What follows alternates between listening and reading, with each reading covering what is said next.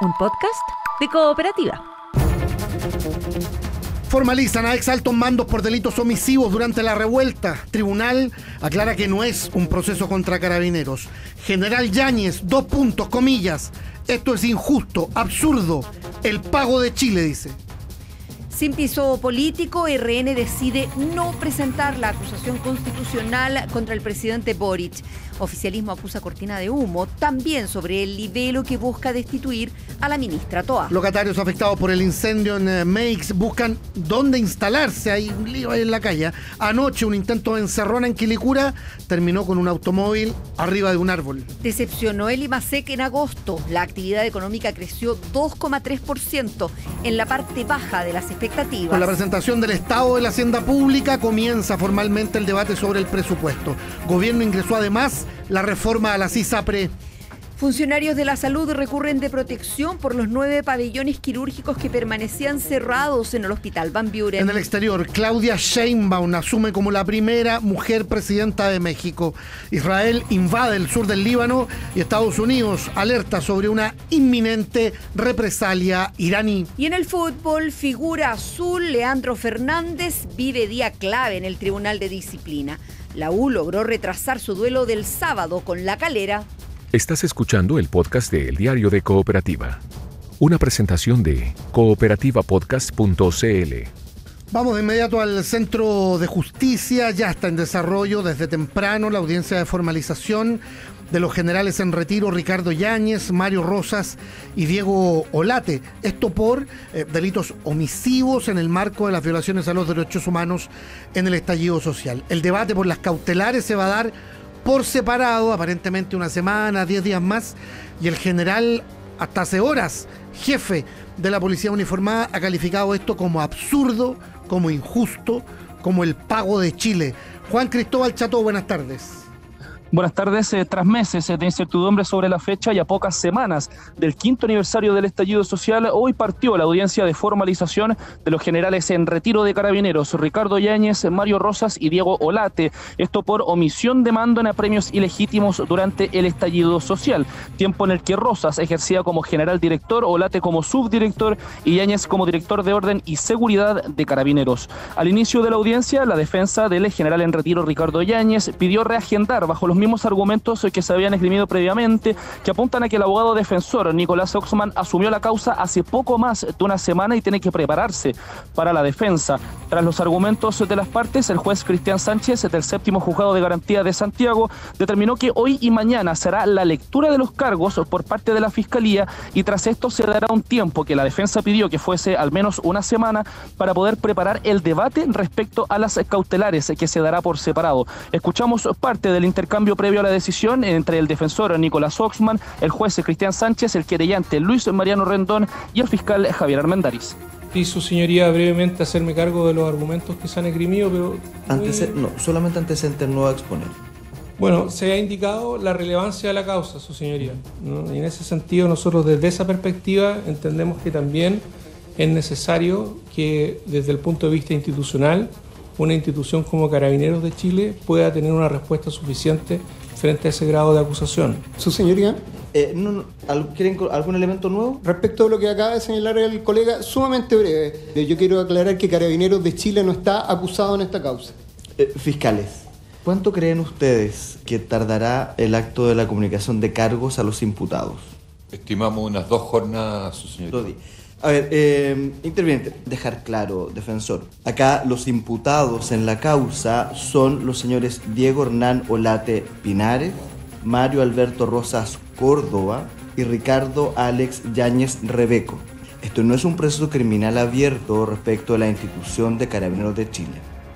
Tras este intercambio entonces se tomó la determinación de separar las audiencias y el Ministerio Público dio inicio entonces a la lectura de las causas por las que se formaliza a los ex generales en retiro, digo, detallando reglamentos nacionales e internacionales sobre los estándares del trabajo policial, al igual que la legislación vigente en nuestro país, todo apuntando a que estos altos mandos tenían la responsabilidad de asegurar un control del orden público apegado a la ley. Hicieron también en reparo en el pic mundial de casos de trauma ocular que se registró en el país durante el estallido. Escuchamos eh, parte de la intervención de la fiscal regional metropolitana Centro Norte, Jimena Chom.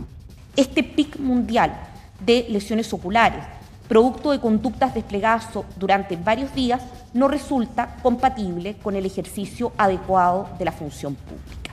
Los imputados, como titulares de los órganos superiores de carabineros, están llamados a garantizar que la ley sea respetada por la totalidad del personal, lo que debe materializarse en mecanismos eficaces de monitoreo y fiscalización para prevenir y enfrentar vulneraciones de la ley, sobre todo si estas vulneraciones se presentan con relativa generalidad estaba previsto que previo a la audiencia los generales en cuestión iban a hacer un punto de prensa. Sin embargo, este no se pudo hacer debido a la presencia de manifestantes, eh, quienes llegaron hasta el centro de justicia acompañados de la senadora Fabiola Campilla y quienes sí entregó declaraciones. Eh, sin embargo, debido precisamente a em, medidas de seguridad, no se hizo el punto de prensa, pero sí se hizo envío de una declaración a través eh, de un audio y también de un video donde el general en retiro, Ricardo Yáñez, está acompañado de los generales en retiro Olate y Rosas y califica de em, absurda la situación que se está viendo en estos momentos. Pasamos a escuchar parte de las declaraciones del general en retiro Ricardo Yáñez. Me parece absolutamente injusta, absurda. Creo que se nos pedía, de acuerdo a los antecedentes que estamos recogiendo, lo imposible. Eh, más de 665 días de violencia en todo el país, los carabineros tuvimos que actuar con los medios y con las capacidades que el Estado nos había entregado. Más de 1.100 vehículos atacados, más de 540 ataques en nuestros cuarteles, cerca de 5.000 cañones lesionados. Eso da cuenta de que en más de 16.000 eventos de alta violencia tuvimos que hacer frente a un hecho que es inédito desde que volvimos a la democracia con la violencia desatada que hubo en este país. Declaraciones entonces por parte de uno de los imputados, pero que nos comunicaron, hablaba por supuesto en representación de los tres. Se espera que a eso eh, de los próximos minutos se declare un receso para poder almorzar y se retome eh, aún a eso de las dos de la tarde para seguir con la lectura de los cargos hasta las cuatro y eventualmente retomar precisamente esta diligencia el día de mañana. Eso con eh, la audiencia que sigue en desarrollo, se va a continuar en eso también el día eh, de mañana miércoles. El pago de Chile ha acusado el general Yáñez en eh, ese audio que se hizo llegar a los medios de comunicación. Ampliamos Juan Cristóbal, muchas gracias. Buenas tardes. Y en su primera mañana al mando de carabineros, el nuevo general director Marcelo Araya llamó a los funcionarios a un fuerte cumplimiento de la ley. Gloria Gutiérrez, buenas tardes. Buenas tardes, Verónica. Sí, este martes el nuevo general director de Carabineros, Marcelo Araya, inició sus funciones al mando de la institución temprano, desde el Centro de Gestión de Operaciones Policiales, lugar desde donde emitió un saludo por radio a todos los funcionarios en servicio del país. Lo hizo presentándose en su nuevo cargo y mandatando a los funcionarios policiales a ser fuertes en el cumplimiento de la ley, llamado que realiza en la misma jornada en que se formaliza a tres ex uniformados, el ex subdirector Diego Olate y los generales en retiro Mario Rosas y Ricardo Yáñez, imputados los tres por delitos de omisión de apremios ilegítimos en el contexto del estallido social. Les invito a pasar a escuchar ahora un extracto de lo que fue este primer saludo del nuevo general director Mario Araya. Muy buenos días a todo el personal de servicio. Les habla el general director Marcelo Araya. Contamos con nuestro mejor personal, con ustedes, con la gente que está en la calle. Y en el día de hoy inicio también mi servicio como general director. Cuenten con todo mi apoyo y con toda mi entrega y entusiasmo. Tenemos una tremenda responsabilidad y somos los encargados de darle esa tranquilidad y esa paz que tanto necesita el país. Sean fuertes en el cumplimiento de la ley, sean afables en el trato que le deben brindar a la ciudadanía y por sobre todas las cosas, cuiden. Salimos todos, regresamos todos. Luego de esto, el general director Marcelo Araya llegó hasta el Palacio de la Moneda, donde sostuvo una reunión de trabajo con la vicepresidenta Carolina Toá. Ninguno de los dos emitió declaraciones después de esta reunión, pero sí hace unos minutos la ministra tuiteó, posteó, posteó en X una foto con el general director y señaló que abordaron medidas de seguridad contempladas en el presupuesto 2025 y agregó que sus esfuerzos seguirán estando para que logremos construir acuerdos y unidad detrás del objetivo de la seguridad. Luego de esto llegó Araya hasta la cuarta comisaría de Santiago, donde se reunió con el jefe de zona metropolitana oeste, Marcelo Lepín, y el subprefecto de servicios de la prefectura Santiago Central, Claudio Pávez, también sin emitir mayores declaraciones a los medios de comunicación. La primera jornada del general director de carabineros Marcelo Araya en el cargo de em, un rol que asumió formalmente ayer por la tarde y hoy eh, a primera hora ya reunido con la vicepresidenta de la República en el Palacio de la Moneda. Gracias Gloria, buenas tardes.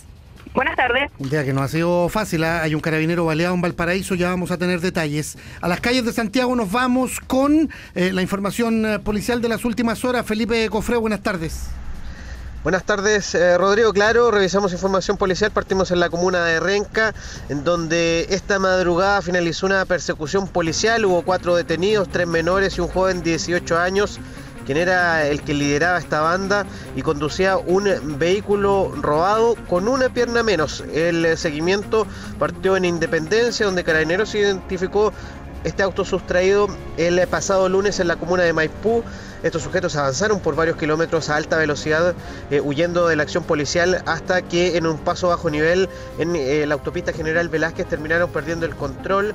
En la detención, Carabineros se percató de quien eh, quien manejaba estaba en situación de discapacidad y se ayudaba de una muleta para eh, conducir, presionando el embriague precisamente con este elemento. Se trata de un avesado delincuente con amplio puntuario policial y con dos órdenes de detenciones eh, vigentes. El capitán Luis Muñoz de la Prefectura Santiago Norte de Carabineros entregó más detalles. Un robo con intimidación el día de ayer en la comuna de Maipú.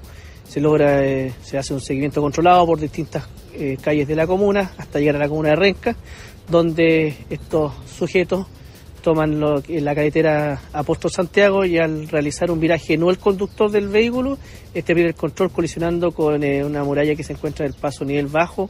De los cuatro detenidos que se mantienen al momento, uno sería adulto que mantiene antecedentes policiales, mantiene dos órdenes vigentes y los otros tres menores están sin antecedentes, todos chilenos eh, los cuales en estos momentos se está adoptando el procedimiento correspondiente para dar cuenta del Ministerio Público.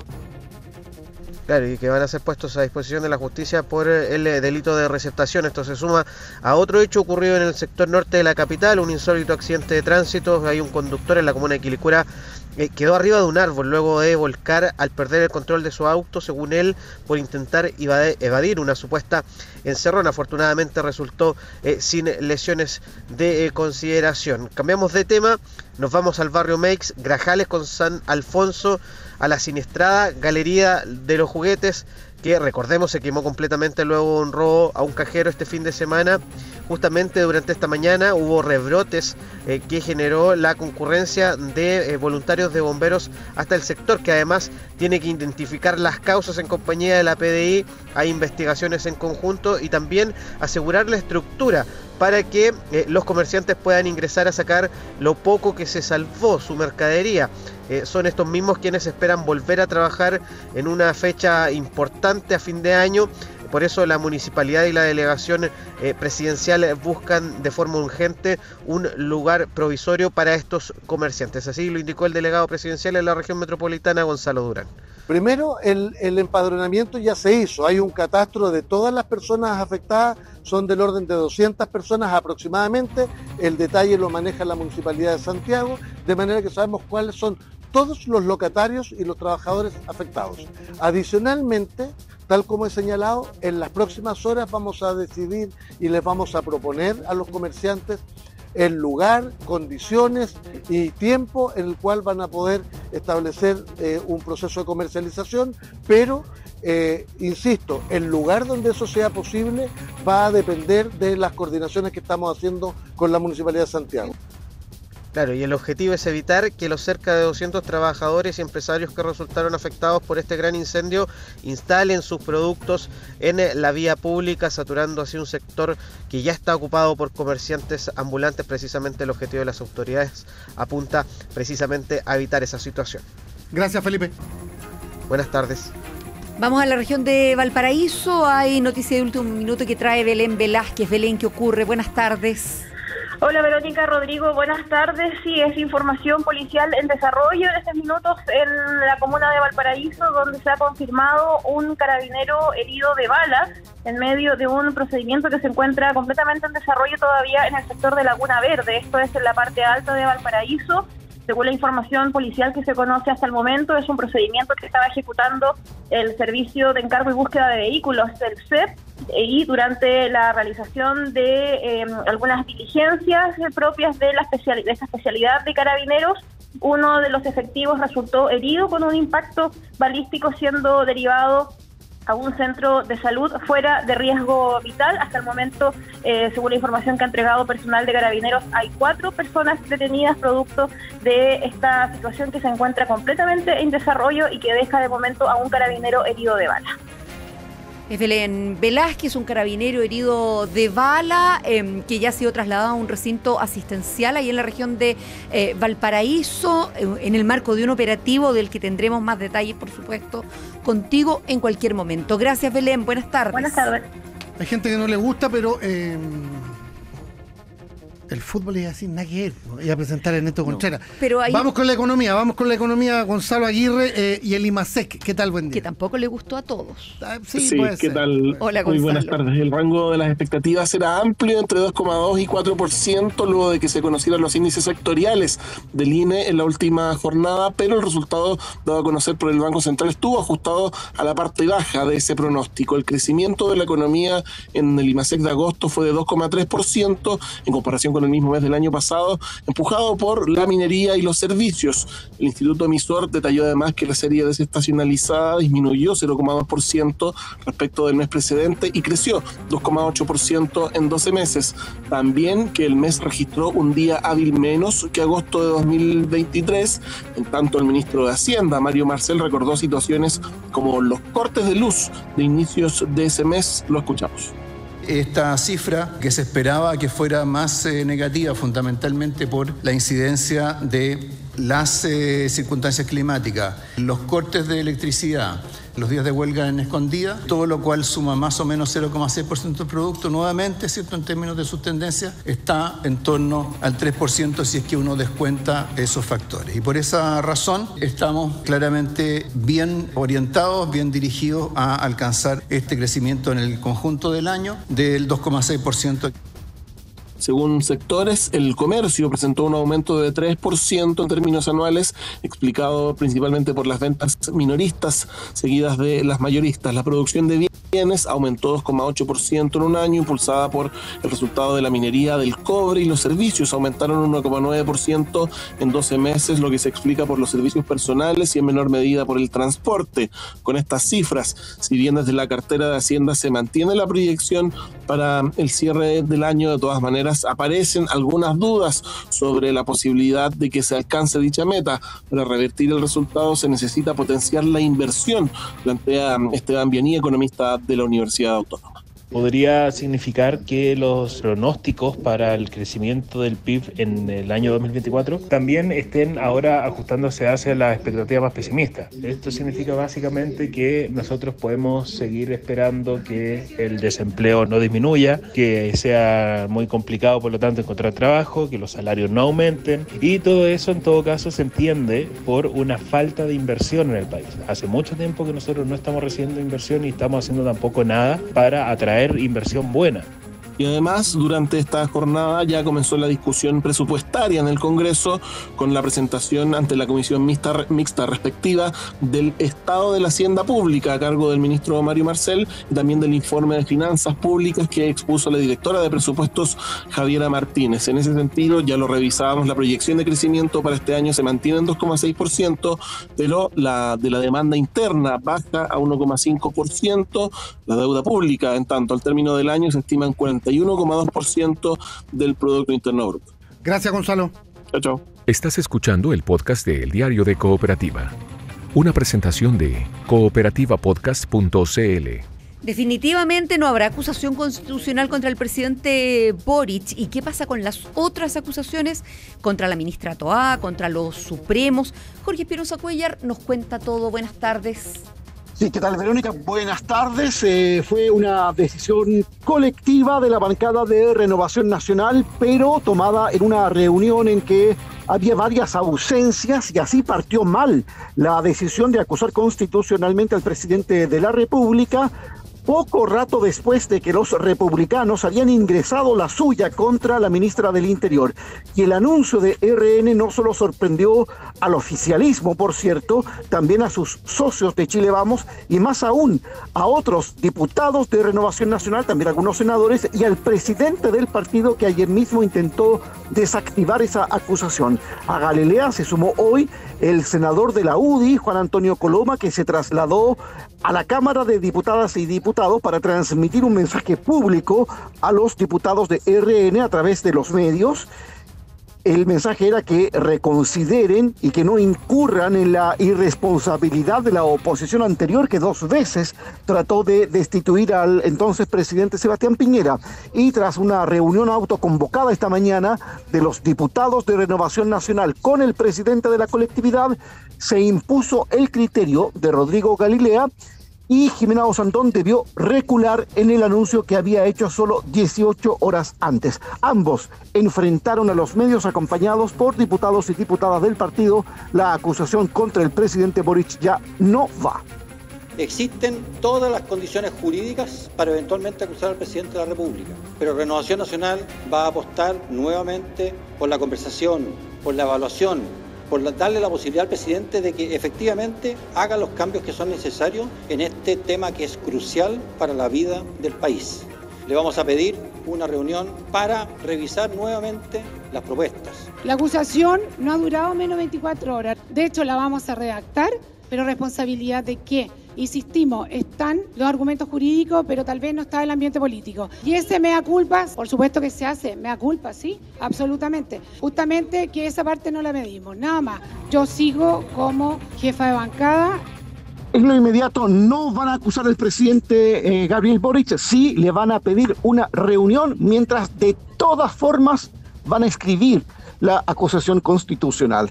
Eh, mientras eh, ellos realizaban el anuncio, parlamentarios eh, oficialistas escuchaban, sonreían y movían la cabeza en señal de incredulidad por el bochorno político de la bancada de RN. Unos fueron más críticos que otros. Escuchamos aquí reacciones. Raúl Soto del PPD, Marcos y la Vaca del PS y Javiera Morales del Frente Amplio. El profesor vino a ordenar un curso de quinto básico que fue incapaz de ponerse de acuerdo y salió a improvisar ni más ni menos que anunciando una acusación constitucional al presidente de la República minutos después que ya se había anunciado una acusación constitucional a la ministra del Interior. Parece que de los arrepentidos del reino de los cielos no tuvieron el respaldo en la Cámara, no tuvieron el respaldo en el Senado y eso da cuenta de lo desesperados que se encuentran algunos de poder salir adelante con acusaciones mucho más agresivas que los anteriores. RN sabe que a través de una acusación constitucional no van a mejorar la seguridad de este país. Esto lo demuestra. Es un buen gesto el que está haciendo Renovación Nacional, pero tendrían que replicarlo en el caso de la acusación constitucional contra la ministra del Interior.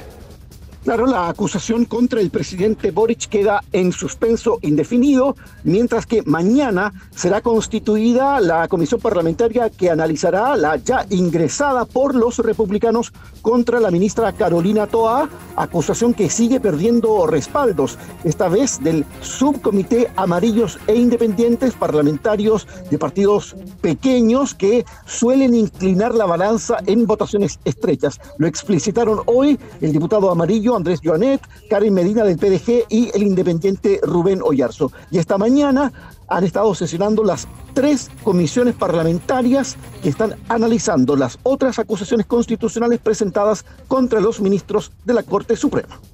Jorge Espinosa Cuellar, gracias, buenas tardes. Buenas tardes. Hablábamos hace un ratito sobre lo del eh, Medio Oriente con el experto Alberto Robles de la Finista RAE y hay a esta hora transmisiones en vivo en la televisión mundial de eh, bombardeos sobre eh, territorio israelí. Todo apunta a Irán, considerando lo que se había filtrado desde los Estados Unidos. Se hablaba de una inminente represalia de lo que estaba ocurriendo en el sur del Líbano. Es noticia del momento en esa zona del mundo. Y sabemos del presidente Gabriel Boric que participa en la ceremonia de cambio mando en México con la llegada de la primera mujer a cargo de la presidencia en ese país. Mariano Reyes, enviado especial del diario de Cooperativa. Buenas tardes.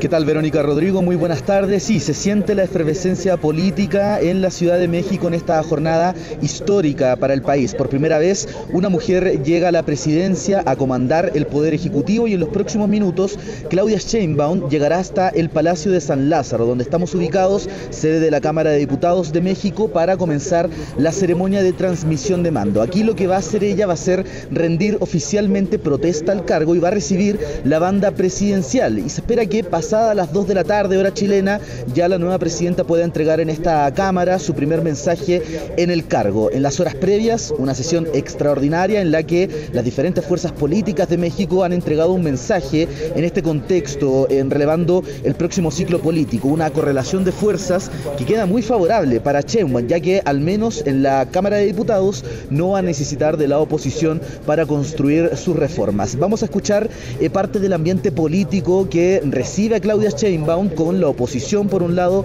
cuestionando las cifras de seguridad, el poco crecimiento económico, mientras el oficialismo relevando lo que ha sido el apoyo popular. Escuchamos a la senadora María Guadalupe Murguía del Partido de Acción Nacional y al diputado Ricardo Monreal, coordinador de la bancada de Morena.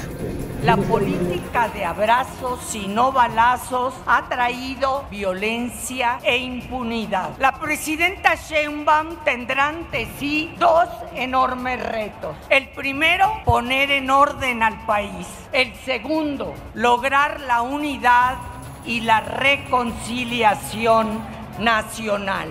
Poco se pueden explicar en la oposición por qué la gente nos concedió el poder reformador. Después de 66 hombres presidente, tendremos la primer mujer de la historia del país.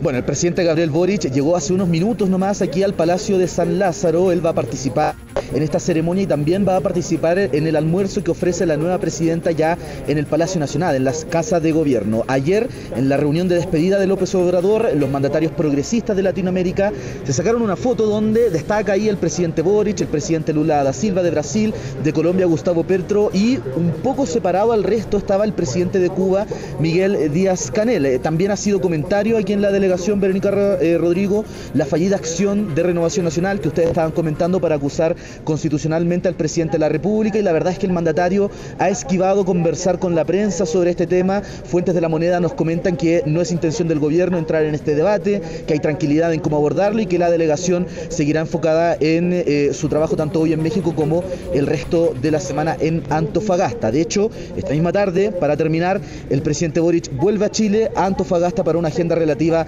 al subsidio eléctrico, a la inauguración de hospitales y el fortalecimiento de las policías. El subsidio eléctrico justo en este mes de octubre en que vuelven a subir las tarifas eléctricas para una buena parte de los eh, clientes residenciales. Muchas gracias Mariano, buenas tardes. Que estén bien, muy buenas tardes. Eso mientras se tiene que tramitar la ampliación del subsidio eléctrico que todavía no ve la luz. Eh, vamos a, mm, volver a la región de Valparaíso ahora, eh, sí con la crisis del hospital Van Buren, pabellones cerrados, lo que ha anunciado el propio alcalde de Char, por ejemplo, también los trabajadores de la salud y algunos parlamentarios, cirugías suspendidas. Hay compromiso incluso a los tratamientos de quimioterapia en el lugar. Belén Velázquez, buenas tardes. Hola Rodrigo, sí, hoy día continuaron las protestas del personal médico en torno a, las a la crisis del Hospital San de Valparaíso, que llegó a tener a nueve de sus 16 pabellones fuera de servicio eh, fuera, eh, por, falta de recursos que se atribuyen a un eh, mayor trabajo operacional, dicen que hubo este año 2024, es decir, hubo más atenciones y más movimientos en esa materia en este recinto porteño, el de más alta complejidad en cuanto a su red a, la red asistencial que le corresponde, que es Valparaíso San Antonio. Hoy las manifestaciones estuvieron apoyadas también por el Colegio Médico y habló al respecto la presidenta nacional de este gremio, Ana María Arriagada.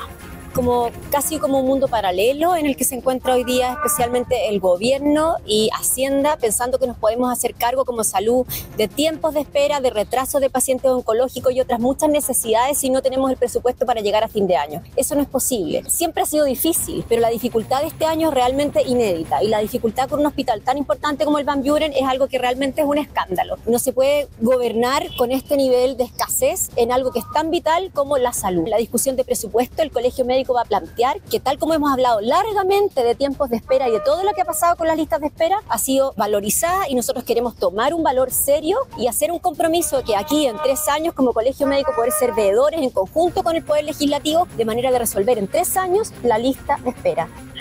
Sí, en paralelo desde el Servicio de Salud Valparaíso San Antonio, el director Cristian Galvez indicó que actualmente ya no son nueve los pabellones fuera de servicio, sino que cuatro.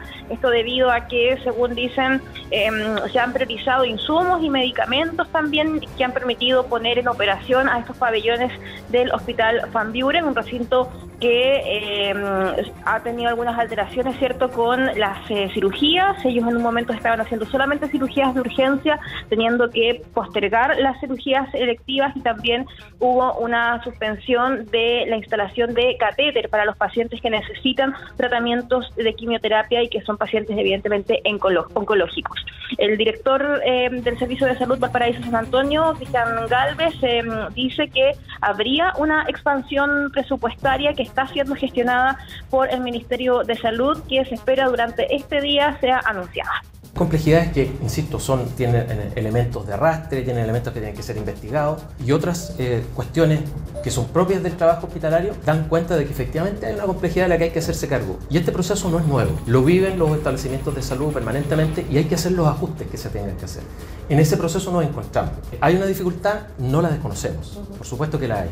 Y esa dificultad la estamos enfrentando de la mejor manera posible con recursos adicionales y efectivamente con trabajo coordinado con el Ministerio de Salud. Ha generado todo un trabajo coordinado con la DIGERA en particular y que apunta precisamente a generar una expansión. Hay un anuncio ahí que, está relacionado con el Ministerio y si no lo podemos realizar nosotros también. ¿De cuánto estamos hablando de presupuesto que se va a inyectar en forma adicional? Hay dos decretos de los que tengo información que están eh, en el orden superando los mil millones de pesos. Sí, en paralelo a estas negociaciones, hoy el senador Juan Luis Castro, miembro de la Comisión de Salud del Senado, llegó hasta el Hospital Van Buren para acompañar a los funcionarios y dijo que va a citar a la ministra de la cartera o como comisión para consultarle sobre la crisis del Hospital Van Buren y de unos 60 hospitales más que según él tienen problemas presupuestarios.